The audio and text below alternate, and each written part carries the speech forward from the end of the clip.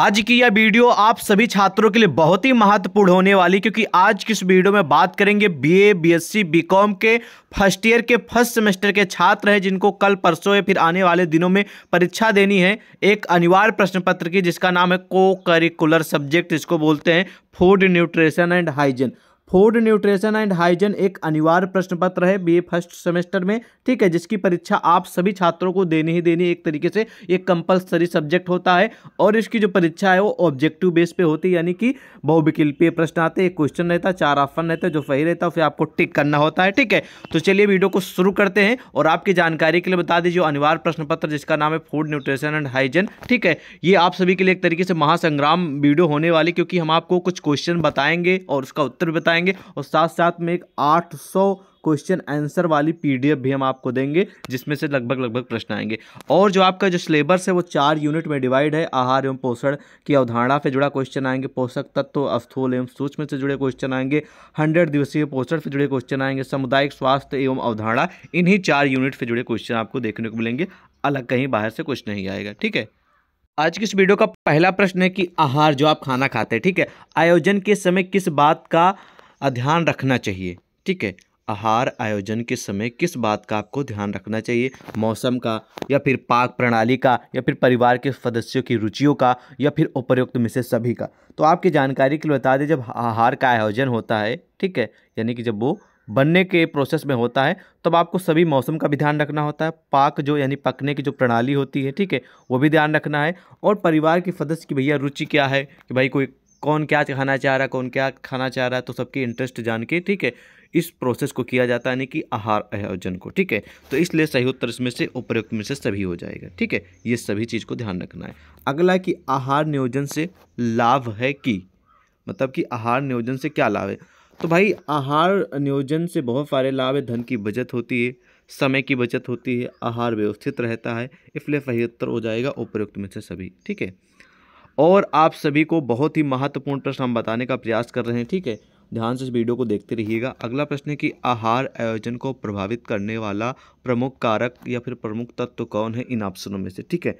तो इसमें जो सही उत्तर हो जाएगा, बहुत ही महत्वपूर्ण है आप सभी के लिए ध्यान रखेंगे, वो है आयु, यानी कि उम्र जिसको बोलते हैं, ठीक है? अगला क्वेश्चन कि आहार आयोजन को प्रभावित करने वाला तत्व कौन सा? नहीं, ऊपर था कि तत्व है, ये कह रहा कि तत्व नहीं है, ठीक है?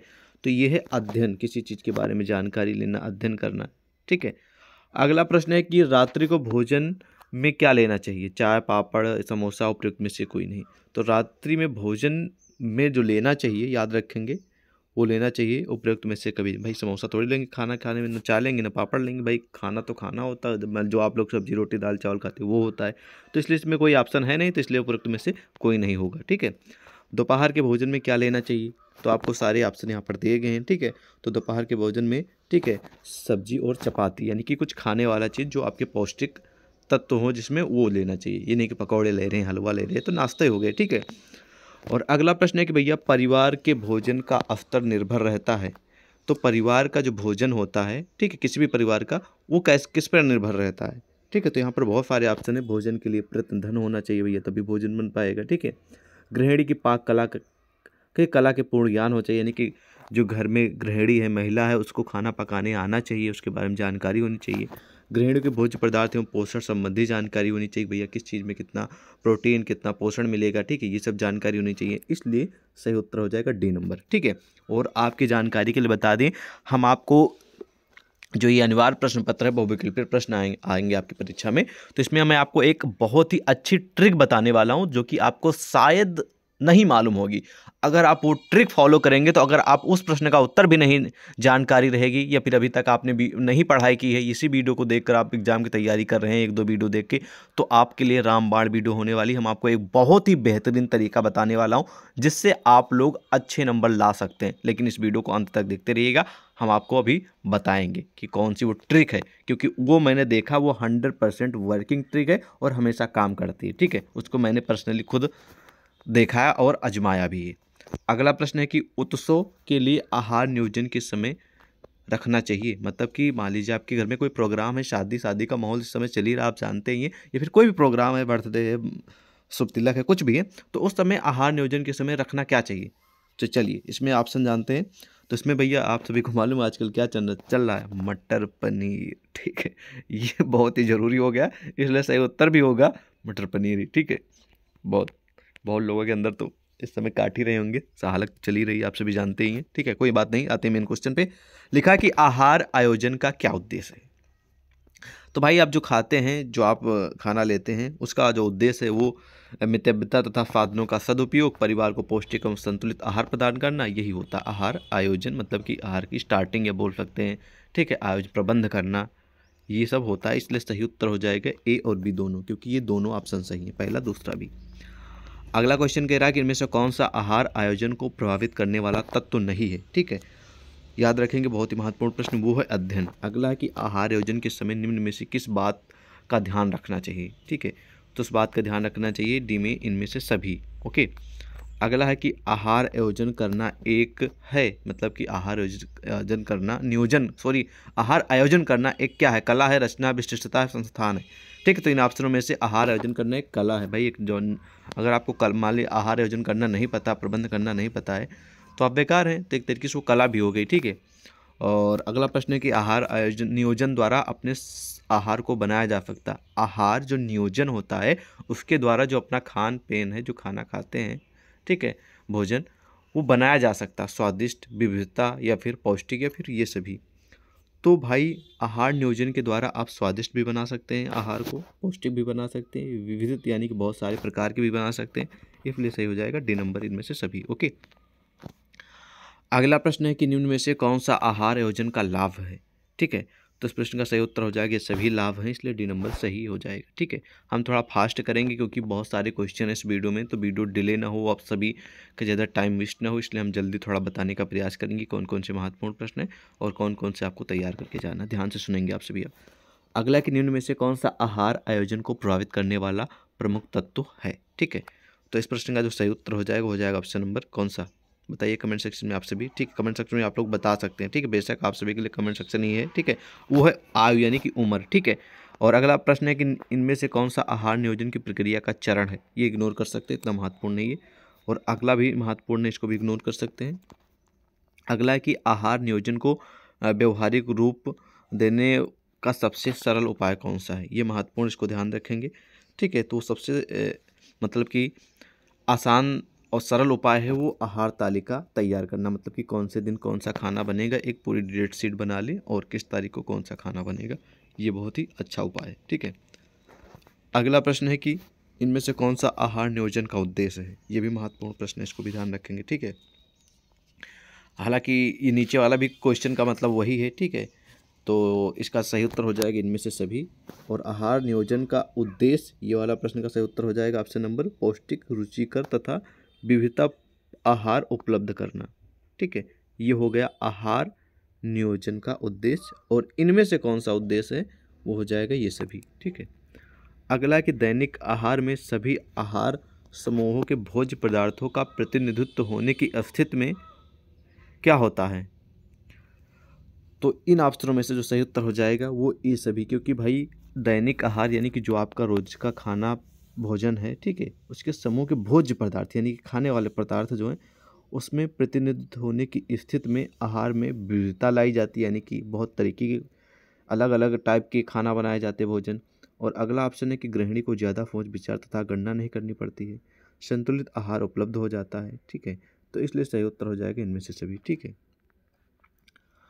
अगर अगला प्रश्न है कि संतुलित एवं पौष्टिक आहार के लिए आवश्यक है। बहुत ही महत्वपूर्ण प्रश्न याद रखेंगे। आहार नियोजन बहुत ही आवश्यक है। ठीक है, एक पौष्टिक भोजन के लिए या फिर आहार के लिए। अगला है कि आहार में विभिन्नता लाने का अर्थ क्या है? ये इतना महत्वपूर्ण इग्नोर कर सकते आहार नियोजन का मुख्य उद्देश्य याद रखेंगे, ये महत्वपूर्ण प्रश्न है, ठीक है? वो है संतुलित आहार का आयोजन करना, यही है आहार नियोजन का अर्थ, ठीक है? और आहार नियोजन करते समय ध्यान रखने योग्य महत्वपूर्ण जो फैक्ट हैं तथ्य हैं, वो ध्यान रखना है, ठीक है? तो आपको व्यक्ति की रुचि भी ध्यान रखना बजट भी ध्यान रखना, समय तथा भोजन की मात्रा भी ध्यान रखना, इसलिए उत्तर हो जाएगा सभी, ठीक है? क्योंकि भाई आपको पैसे भी ज़रूरत है कि भाई हमारे पास पैसे कम है, हम अच्छा खाना कैसे मतलब कि बजट का भी ध्यान रखना कि भाई इस हिसाब से चलिए ताकि हमारा जो भोजन है, जो हमारी सब्ज़ी है, जो हमारा खाना है, वो अच्छे से ज़्यादा दिन तक चलता रहे मतलब कि पैसे, हर चीज़ तो पैसे से मिलती है, ठीक है ना? तो बजट आपको बनाना पड़ेगा और व्यक्ति की रुचि क्या है? ये नहीं कि आपने कुछ भी बना दिया, वो इंसान को पसंद ही नहीं तो क्या फ़ायदा? उसकी इंटरेस्ट भी जानना ज़रूरी और एक समय निर्धारित करके उसी में, सीमित मात्रा में और सीमित समय में एक भोजन तैयार करना, ठीक है? तो ये महत्वपूर्ण प्रश्न है। अगला प्रश्न है कि भोजन के सातों भोज्य समूह के भोज्य पदार्थ की मात्रा इस प्रकार लेनी चाहिए कि समस्त पौष्टिक, जो पौष्टिक तत्व होते हैं, उन भोज्य पदार्थों द्वारा उपयुक्त मात्रा में भोजन में सम्मिलित सम्मिलित या फिर इंक्लूड किए जाएँ। तो इसे क्या कहते हैं इस प्रोसेस को? याद रखेंगे, इस प्रोसेस को कहेंगे आहार नियोजन। निम्न में से कौन सा आहार नियोजन को प्रभावित करता है? तो आहार को नियोजन को प्रभावित करने वाले जो हैं, वो है परिवार के सदस्य की संख्या, परिवार की संरचना परिवार के सदस्य की रुचि, इसलिए सही उत्तर हो जाएगा डी नंबर में से सभी, ठीक है? अगला प्रश्न प्रस्तुत है कि इनमें से कौन सा आहार नियोजन का सिद्धांत है? ये भी महत्वपूर्ण प्रश्न है, ठीक है?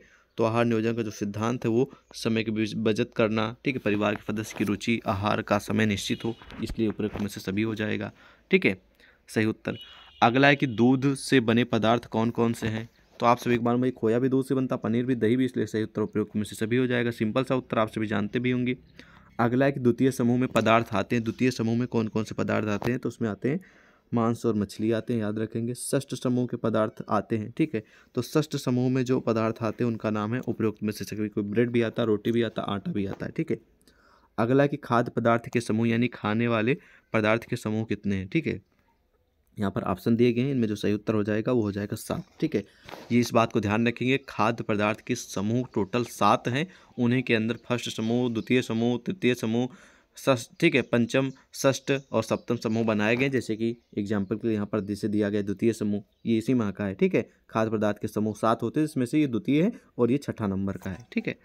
और अगला प्रश्न है कि हमें सबसे शीघ्र ऊर्जा मिलती है, किस चीज़ से सबसे जल्दी आपको ऊर्जा मिल जाएगी, ठीक है? तो याद रखेंगे, बहुत ही महत्वपूर्ण प्रश्न है, हमें सबसे ज़्यादा जो ऊर्जा सबसे शीघ्र मिलती है वो ग्लूकोज से मिलती है। आप सभी को मालूम जो डॉक्टर है तुरंत आपको ग्लूकोज ग्लूकोज लगा नहीं देते हैं बोतल वाला, ठीक है? क्योंकि सबसे ज़्यादा वहाँ से शीघ्र ऊर्जा मिल जाती है। अगला है कि सब्ज़ी, भाजी किन भोज्य पदार्थों की श्रेणी में आते हैं? जो खाना, जो आपका भोजन होता है, सब्ज़ी, भाजी ठीक है, सब्ज़ियाँ, ये किस भोज पदार्थ की श्रेणी में आते हैं? बहुत ही महत्वपूर्ण प्रश्न है, ये सब आते हैं रक्षात्मक श्रेणी में। इनमें से कौन सा आहार संपूर्ण है? ठीक है, बहुत ही महत्वपूर्ण प्रश्न है। इसमें जो संपूर्ण आहार है, उसको इन ऑप्शनों में से, देखिए, हालाँकि अगर इस तरह प्रश्न है इस तरह ऑप्शन रहेंगे तो वहाँ पर दूध आपको सिलेक्ट करना है। ठीक है, ऑप्शन के ऊपर डिपेंड करता है क्वेश्चन का उत्तर। इस बात को ध्यान रखेंगे। अगला है कि भोजन में ऊर्जा का साधन क्या है? तो भोजन में ऊर्जा का जो साधन है, वो है कार्बोहाइड्रेट ये बहुत ही महत्वपूर्ण प्रश्न याद रखेंगे। ठीक है। अगला प्रश्न भैया आप सभी के प्रस्तुत है कि भारतीय स्वास्थ्य संगठन आईसीएमआर ने समस्त पोषक तत्वों की सुचारू पूर्ति के लिए भोज्य पदार्थों के समूह कितने निर्धारित किए हैं? तो ये भी हाई लेवल का क्वेश्चन है। ये आई सी एम आर ठीक है, ने समस्त पोषक तत्वों की सुचारू पूर्ति के लिए भोज्य पदार्थ के जो समूह निर्धारित किए हैं, वो पाँच किए हैं, ठीक है। हालाँकि वैसे सात होते हैं, ठीक है। और इस कंपनी ने या फिर इस संगठन ऑर्गेनाइजेशन ने पाँच ही माने हैं। ठीक है। अगला प्रश्न है कि कौन सा विटामिन जल में घुलनशील है? आप सभी अच्छे से जानते हैं कौन सा विटामिन जल में घुल जाता है। कोई ज़्यादा एक्सप्लेन करने की आवश्यकता नहीं, आप समझदार भी हैं और काफ़ी एक्सपर्ट भी हैं। तो चलिए। इन ऑप्शनों में से जो सही उत्तर हो जाएगा ऑप्शन नंबर कौन सा हो जाएगा? ऑप्शन नंबर हो जाएगा ए नंबर क्योंकि विटामिन सी एक घुलनशील है जो कि जल में, ठीक है। अगला है कि अनाज के जो अंकुर, यानी कि जो छोटे छोटे ऊपर नहीं निकल आते, ठीक है। अनाज जैसे गेहूँ आप बोए जाते हैं तो थोड़े थोड़े ऊपर हल्का हल्का मतलब कि हरे कलर का नहीं हो जाता, अंकुर जिसको बोलते हैं चना में अंकुरित हो जाता है, उसमें थोड़े थोड़े वो निकल आते हैं, ठीक है? तो अनाज के अंकुर में भोजन का कौन सा तत्व पाया जाता है, ठीक है? तो इस प्रश्न का सही उत्तर हो जाएगा, उसमें पाया जाता है, याद रखेंगे, विटामिन बी। विटामिन ए की कमी से कौन सा रोग हो जाता है? जैसे कि आपके शरीर में, मान लीजिए विटामिन ए की कमी है, ठीक है? तो उससे कौन सा रोग होता है, ठीक है? याद रखेंगे, उससे जो रोज रोग होता है, आप सभी के लिए बहुत ही महत्वपूर्ण प्रश्न कमेंट में आप बताइए, ठीक है? तो सही उत्तर हो जाएगा रतौंधी, ठीक है? जिसको इंग्लिश में बोलते हैं, ठीक है नाइट ब्लाइंडनेस ठीक है? यानी कि जब रात में आपको मतलब कि मतलब एक तरीके से बोलते हैं रत औंधी मतलब कि रात में बहुत ऐसा हो जाता है कि कम दिखने लगता है, ठीक है? तो कभी कभी ये लक्षण दिन में भी दिखाई देता है, थोड़ा अगर अंधेरा है तो धुंधला है तो आपको बहुत ही अच्छे तरीके से नहीं दिखेगा। तो अगर आपको बोलते नहीं कि रत, बोल, डॉक्टर बोलते नहीं कि आपको रतौंधी हो गई है तो आप समझ जाइएगा कि आपके अंदर विटामिन ए की कमी है, तभी आपको ये रोग हुआ है। या फिर ऐसे हो सकता है कि कोई बोल दे विटामिन ए की कमी है तो आप समझ जाइएगा कि रतौंधी मेन लक्षण है, विटामिन ए का, ठीक है? तो चलिए, अगले क्वेश्चन की ओर बढ़ते हैं। अगला प्रश्न है कि भैया, विटामिन सी पाया जाता है, किसमें पाया जाता है? तो विटामिन सी जो सबसे अधिक पाया जाता है, इन ऑप्शनों में से, याद रखेंगे, वो आंवले में पाया जाता है, ठीक है? किसमें आंवले में। आयोडीन यानी नमक की कमी से कौन सा रोग होता है? आप सभी जानते हैं कि घेंगा होता है, जो कि गले के पास होता है, ठीक है? ओके, अगला प्रश्न एक वसा में घुलनशील विटामिन क्या है? तो वसा में कौन सा विटामिन है जो घुल जाता है, ठीक है? तो वो है विटामिन ए, ठीक है? अगला कि विटामिन ए सर्वाधिक आवश्यक है, विटामिन ए जो है वो सबसे ज़्यादा किस चीज़ के लिए आवश्यक होता है? इन ऑप्शनों में से इस बात को ध्यान रखेंगे, वो आँखों के लिए होता है, जैसे आपने बताया, भैया आँखों में तो रतौंधी होती है ना तो ये सबसे ज़रूरी आँखों के लिए होता है विटामिन ए। अगला प्रश्न है कि किस विटामिन की कमी के कारण शरीर में रक्त बहने की दशा में थक्का बनने की क्रिया मंद हो जाती है? ठीक है, बहुत ही महत्वपूर्ण प्रश्न है, याद रखेंगे, मंद मतलब कि कम हो जाती है, एकदम से मतलब कि स्लो हो जाती है एक तरीके से, ठीक है? तो इस प्रश्न का सही उत्तर हो जाएगा ऑप्शन नंबर विटामिन के।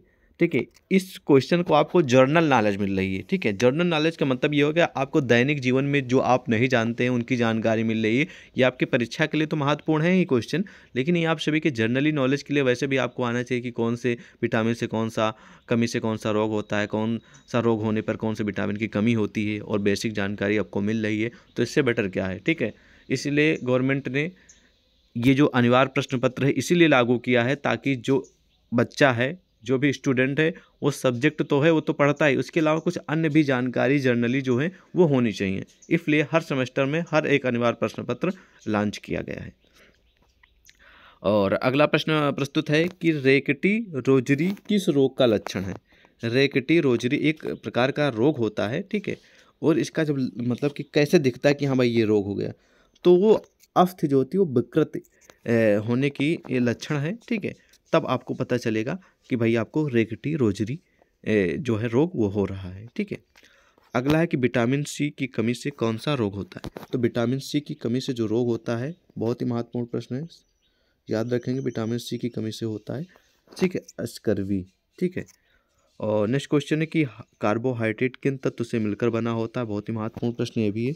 ये कार्बन डाइऑक्साइड तथा ऑक्सीजन से मिलकर बना होता है, कार्बोहाइड्रेट, ध्यान रखेंगे। सुक्रोज की प्राप्ति का साधन कौन सा है? तो सुक्रोज प्राप्त करने का मुख्य साधन है, बहुत ही महत्वपूर्ण प्रश्न याद रखेंगे आप सभी के एग्ज़ाम के लिए। वो है चुकंदर और गन्ना और पके हुए फल, सूखे मेवे इनसे सुक्रोज की प्राप्त होती है, ठीक है? अगला प्रश्न है कि कार्बोहाइड्रेट के संगठन का निम्न में से कौन सा अंग नहीं है? तो याद रखेंगे, प्रश्न का सही उत्तर हो जाएगा, ऑप्शन नंबर बहुत ही महत्वपूर्ण है, नाइट्रोजन, ठीक है? अगला कि स्टार्च की प्राप्ति का साधन कौन सा है इन ऑप्शनों में? तो स्टार्च का जो सबसे ज़्यादा मिलता है वो जड़ और बीजों से मिलता है, इसलिए सही उत्तर हो जाएगा। कौन सा? B number. पेड़ पौधे हरे पत्तों में एक विशेष पदार्थ पाया जाता है, जिसे क्या कहते हैं? तो आप सभी को मालूम होता है, जो पेड़ पौधे होते हैं, जिनमें हरे पत्ते होते हैं, उनमें एक चीज़ पाई जाती है, जिसको बोला जाता है क्लोरोफिल। ठीक है, क्लोरोफिल के कारण ही परे पत्ते जो है ना, वो हरे रहते हैं। सी नंबर सही उत्तर होगा। अगला कि वह कौन सी सरकरा है? जिसका मनुष्य शरीर में पोषण के रूप में कोई महत्व तो नहीं है। ठीक है मतलब कि उसका महत्व तो है ही नहीं। तो इन ऑप्शनों में से जो सही उत्तर हो जाएगा हो जाएगा ऑप्शन नंबर बी। ठीक है लोज अगला कि कार्बोहाइड्रेट प्राप्त के शर्करा युक्त पदार्थ है। कार्बोहाइड्रेट को प्राप्त करने के लिए शर्करा युक्त पदार्थ कौन सा इन ऑप्शनों में से? ठीक है तो वो है शक्कर चीनी, जिसको बोलते हैं। ठीक है, सी नंबर सही उत्तर होगा। प्रोटीन का प्रमुख कार्य क्या है? बहुत ही हाई लेवल का, बहुत ही कॉमन क्वेश्चन आपको आना भी चाहिए वैसे भी। तो प्रोटीन का मुख्य कार्य शरीर की कोषों व पाचक रस हार्मोन्स का निर्माण करना, प्रोटीन का मेन टास्क यानी कि कार्य होता है। अगला है कि कार्बोहाइड्रेट ने स्टार्च युक्त पदार्थ हैं। कार्बोहाइड्रेट के स्टार्च युक्त पदार्थ कौन है? इन ऑप्शनों में से, ठीक है? बहुत ही महत्वपूर्ण प्रश्न है। वो है बाजरा। बाजरा आपने नाम तो सुना ही होगा, शायद बहुत सारे कम छात्र ऐसे होंगे जो जानते होंगे। बाजरा क्या ना, पहले बोया जाता जैसे कि गेहूँ वहूँ और धान होते हैं ना, वैसे पहले बाजरा होता था, जिसकी रोटियाँ बनती थी, ठीक है? ओके, अगला है कि दोहरी शर्करा कहते हैं। दोहरी सरकरा इतना महत्वपूर्ण नहीं इग्नोर करेंगे। अगला है कि सामान्य तौर पर रक्त में ग्लूकोज की कितनी मात्रा होनी चाहिए, बहुत ही महत्वपूर्ण प्रश्न है, याद रखेंगे। सामान्य तौर पर मनुष्य के अंदर रक्त में ग्लूकोज की जो मात्रा होनी चाहिए, ग्लूकोज की, ठीक है? वो बहुत, ये बहुत ही महत्वपूर्ण प्रश्न याद रखेंगे। इस प्रश्न का सही उत्तर आप कमेंट में बताइए। चलिए आप सभी। तो वैसे तो होती है सत्तर से सौ, लेकिन इसमें कोई सत्तर से सौ वाला ऑप्शन नहीं है, ठीक है? इसलिए अगर यही आप, देखिए, अगर सत्तर से सौ वाला ऑप्शन मिलेगा ये प्रश्न पर, ठीक है? तो आप सत्तर से सौ लगाएँगे। लेकिन इस प्रश्न में सत्तर और सौ है ही नहीं तो आपको वहाँ पर सिलेक्ट कर देना है अस्सी से सौ, ठीक है? ठीक है, अस्सी से सौ। सामान्य तौर पर रक्त में ग्लूकोज की मात्रा सत्तर से सौ, ठीक है? एम प्रति एम होती है, ठीक है? अगला है कि इनमें से कौन सा कार्बोहाइड्रेट का अच्छा स्रोत है? कार्बोहाइड्रेट का सबसे अच्छा स्रोत है इन ऑप्शनों में से। ठीक है, वो है फल, अनाज, सब्ज़ियाँ दूध में अच्छी खाफा मतलब कार्बोहाइड्रेट की मात्रा पाई जाती है। अगला है कि इनमें से कौन सा शरीर के लिए कार्बोहाइड्रेट का प्रमुख कार्य है? ठीक है तो वह शरीर को ऊर्जा प्रदान करना, ये है इसका प्रमुख कार्य। वनस्पतियों में विद्यमान क्लोरोफिल से कार्बोहाइड्रेट का निर्माण किस क्रिया द्वारा होता है? ठीक है तो उस क्रिया का नाम है प्रकाश संश्लेषण द्वारा, यानी कि प्रकाश जब उस पर लगता है या फिर प्रकाश जब उस पर जाता है, तब ये इसका निर्माण होता है, ठीक है। तो प्रकाश ज़रूरी है हर इंसान के लिए और हर पेड़ पौधों के लिए, ठीक है, यानी कि सभी चीज़ के लिए। अगला कि इनमें से कौन सा कार्बोहाइड्रेट का वर्ग है? तो इतना महत्वपूर्ण इसे इग्नोर कर सकते हैं। बचे हुए कार्बोहाइड्रेट का अवशोषण शरीर के किस अंग में जाता है? ठीक है तो इस बात को ध्यान रखेंगे महत्वपूर्ण प्रश्न है। वो जाता है छोटी आंत में। कहाँ पर छोटी आंत जो होती है छोटी बड़ी आंत सुना होगा ना तो उसमें छोटी आंत में जाता है। ठीक है, ये। अगला कि इनमें से किसे कार्बोहाइड्रेट की सरलतम इकाई माना जाता है? सबसे सरलतम इकाई। ठीक है तो याद रखेंगे, उसको माना जाता है मोनोसैको। ठीक है, सेकोराइट्स को। ठीक है, निम्न में से कौन सा आहार कार्बोहाइड्रेट की अधिकता का परिणाम है? तो याद रखेंगे, बहुत ही महत्वपूर्ण प्रश्न है भी। आप सभी के एग्ज़ाम के लिए वो है, इनमें से सभी। ठीक है, इसी तरह अगला प्रश्न भी है। यहाँ पर वसा किससे बनता है? इस बात को ध्यान रखेंगे, जो वसा है, वो कार्बन, ठीक है, कार्बन और हाइड्रोजन और ऑक्सीजन से बनता है, ठीक है। और वसा शरीर में किस रूप में जम, जमा रहता है? ये भी महत्वपूर्ण प्रश्न है। तो ये जमा रहता है, ठीक है एडीपोज टिश्यू के नीचे फैटी एफिड तथा गिल्फरिन में, ठीक है। और अगला प्रश्न है, जो कि महत्वपूर्ण प्रश्न हम आपको बता रहे हैं अगला कि प्रोटीन नाम सर्वप्रथम किस वैज्ञानिक द्वारा प्रस्तुत किया गया था? बहुत ही महत्वपूर्ण प्रश्न याद रखेंगे। प्रस्तुत किया गया था मुल्डर के द्वारा। मुल्डर एक प्रमुख विद्वान और वैज्ञानिक है, इन्हीं के द्वारा। सबसे पहले प्रोटीन, जो नाम है वो प्रस्तावित किया गया था। बहुत ही कॉमन क्वेश्चन याद रखेंगे। प्राणी जगत से प्राप्त, भोज्य पदार्थ से प्राप्त होने वाले प्रोटीन को क्या कहते हैं? ठीक है तो उसको कहते हैं प्राणित प्रोटीन। अगला एक निम्न में से प्रोटीन का आवश्यक अवयव कौन सा है? ठीक है, याद रखेंगे। में से जो प्रोटीन का आवश्यक जो अवयव है, वो है हाइड्रोजन, कार्बन और नाइट्रोजन। इसलिए सही उत्तर नंबर हो जाएगा इसमें से सभी या फिर उपरोक्त में से सभी। दालों में सबसे अधिक मात्रा में क्या मिलता है, आप सभी जानते हैं, कोई बताने की आवश्यकता नहीं। दालों में सबसे अधिक मात्रा में क्या मिलता है, ठीक बताइए कमेंट सेक्शन में। आप सभी को मालूम ही होगा कि दाल में सबसे अधिक मात्रा में क्या पाया जाता है तो प्रोटीन पाई जाती है, आप सभी को मालूम है। ठीक है क्वास ठीक है, क्वासर कोर रोग की खोज सर्वप्रथम किसने की थी? चलिए आप सभी कमेंट सेक्शन में इसका उत्तर बताइए, चलिए प्रश्न आपके लिए, ठीक है? सोयाबीन सब में सबसे अधिक क्या पाया जाता है? आप सभी को मालूम है कि प्रोटीन सबसे अधिक पाया जाता है, ठीक है? निम्न जो वनस्पति में, ठीक है प्रोटीन का शरीर निर्माण मूल्य होता मतलब कि वनस्पति ठीक है, ध्यान से सुनिए पहले। तो वनस्पति प्रोटीन होती है यानी कि जहाँ पे वनस्पति से प्रोटीन मिलता है, ठीक है, वो शरीर का निर्माण मूल्य कितना है? एवरेज कितने प्रतिशत है, ठीक है? वनस्पति प्रोटीन से ठीक है? तो ये है एवरेज है पैंतीस से चालीस, ठीक है? बी नंबर सही उत्तर होगा। प्रोटीन की कमी से दुष्प्रभाव है तो प्रोटीन की कमी है तो आपको बहुत सारी समस्या आएँगी। शरीर में सूजन आ सकती शरीर का भार अनुपात में कम होना हो जाता है, शरीर में रक्त की मात्रा कम हो जाती है, इसलिए सही उत्तर हो जाएगा डी नंबर उपयुक्त में से सभी, ठीक है? दूध में प्रोटीन के रूप में होती है, क्या होती है? चलिए कमेंट सेक्शन में आप सभी बताइए, दूध में प्रोटीन के रूप में क्या होती है? चलिए बताइए। केसिन, जहाँ तक मुझे जानकारी, केसिन होती है, ठीक है? अगला कि प्रोटीन शब्द का प्रयोग में लाने का प्रस्ताव सर्वप्रथम अट्ठारह में किसने रखा था? कौन से विद्वान ने रखा था? ठीक है, उनका नाम बताइए। तो उनका नाम है मुल्डर। ठीक है, अगला कि निम्नांकित में प्रोटीन की ज़रूरत सबसे अधिक किसे होती है? ठीक है, बहुत ही महत्वपूर्ण प्रश्न है, ठीक है। तो सबसे अधिक होती है पच्चीस वर्ष की महिला को सबसे अधिक ज़रूरत होती है प्रोटीन की इन ऑप्शनों में से। हालाँकि ज़रूरत तो सबको होती है, लेकिन इन ऑप्शनों में से जो बताया गया पच्चीस वर्ष की महिलाओं को सबसे ज़्यादा होती है, ठीक है। अगला प्रश्न है कि निम्न में से प्रोटीन प्राप्त के उत्तम साधन कौन से हैं? तो ये भैया सभी साधन है जिनमें से प्रोटीन अधिक या उत्तम मात्रा में मिलता है। ठीक है, डी नंबर सही उत्तर होगा। अगला है कि इनमें से वनस्पति जगत में प्रोटीन प्राप्त का सर्वोत्तम साधन कौन है? यानी कि वनस्पति, यानी कि जहाँ पे मान लीजिए एक तरीके से वनस्पति वनस्पति के मतलब जहाँ पे कुछ अच्छे आपके प्रोटीन मिलते हों, ठीक है? तो वनस्पति के बारे में आप जानते हैं, जैसे कि वनस्पति तेल लिख के आ जाता है, ठीक है? ये वाली चीज़ें। ज़मीन से उगने वाले जो पौधे होते हैं, ठीक है, या फिर जो लताएँ होती हैं, ठीक है, उन्हें ही बोला जाता है वनस्पति, ठीक है। तो आप लोगों को मालूम होगा, अच्छे समझ गए होंगे। तो वनस्पति जगत में प्रोटीन प्राप्ति का जो सबसे सबसे उच्चतम साफन ठीक है वो है सोयाबीन से मिलता है ज़्यादातर, ठीक है? इन ऑप्शनों में से। हालाँकि सारे से मिलता है, ऐसी बात नहीं है। इन सभी से मिलता है। अगर यहाँ पर इन सभी ऑप्शन होता तो आपको इन सभी फिलेक्ट करना होता, ठीक है? लेकिन इन ऑप्शनों में से जो बात हो रही है तो सोयाबीन होगा। अंडे में सबसे अधिक मात्रा में क्या पाया जाता है? प्रोटीन पाया जाता है। बच्चों में प्रोटीन की कमी से कौन सा रोग होता है? होता है, ठीक है? क्या होता? है क्वासियर कर रोग होता है बच्चों में, ठीक है? कमी हो जाती है। प्रोटीन के कार्य क्या हैं, आप सभी को मालूम है कि शरीर का निर्माण करना, शरीर में होने वाली टूट फूट की मरम्मत करना शल्य चिकित्सा में उपयोगी, इसलिए सही उत्तर हो जाएगा उपयुक्त में से सभी, ठीक है? अगला प्रोटीन की उपयोगिता, देखिए यहाँ पर उत्तर भी प्रस्तुत है उपयुक्त में से सभी, ये सही उत्तर होगा। थायराइड ग्रंथ का भार कितना होता है, जो थायराइड ग्रंथ होती है बॉडी में, उसका भार कितना, वज़न कितना होता है? पच्चीस ग्राम होता है, ठीक है? और इसी तरह और भी क्वेश्चन प्रस्तुत है, यहाँ पर लिखा कि रक्ता, ठीक है? रक्तालपाता किस खनिज तत्व की कमी से होता है? तो ये होता है लोहा की कमी से, आयरन की कमी से। सोडियम प्राप्ति का अच्छा स्रोत कौन है? नमक से मिलता है सोडियम, ठीक है, अच्छी मात्रा में। आयरन प्रचार रूप मात्रा में पाया जाता है किसमें? ठीक है, प्रकृत में पाया जाता है। और कैल्शियम का फांद स्रोत नहीं है नाफनों से, वो है पालक। कैल्शियम का सांद्र जो स्रोत नहीं है, वो पालक है, ठीक है। हालाँकि जो कैल्शियम है वो पालक में बहुत पाई जाती है और साथ साथ में दूध में भी बहुत कैल्शियम पाई जाती है, ठीक है? लेकिन स्रोत नहीं है, ये बात कर रहा है, ठीक है? ठीक है, सांद्र स्रोत नहीं है, ठीक है? सांद्र स्रोत, पालक, ठीक है? अभी आपको सभी को मालूम है दूध और पालक में प्रोटीन पाई जाती है, ठीक है? अगला प्रश्न है कि गर्भावस्था में महिलाओं द्वारा अपने आहार में आयोडीन की प्राप्ति या फिर पर्याप्त मात्रा ना होने से क्या शिशुओं में क्या रोग हो जाता है जैसे कि उसको प्रोटीन नहीं मिल रही है? महिला को जो प्रेग्नेंट है जिस गर्भावस्था के समय तो वो रोग हो जाता है, जिसका नाम है क्रेटिनिजम। ठीक है, ये रोग हो जाता है। अगला है कि बालक के विकास का सबसे अधिक प्रभावित होने वाला कारक कौन सा है? वह है वंशानुक्रम। आपका वंश कैसा है?